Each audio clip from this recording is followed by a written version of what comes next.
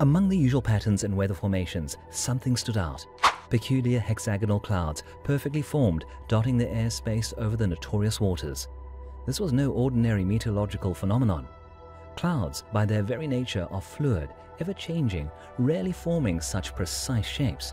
Yet here they were, these hexagons, sitting over the world's most mysterious marine corridor. The presence of these hexagonal clouds over such a historically enigmatic region was more than just a coincidence. Scientists, once dismissive of the triangle's tales, were now leaning in with rapt attention.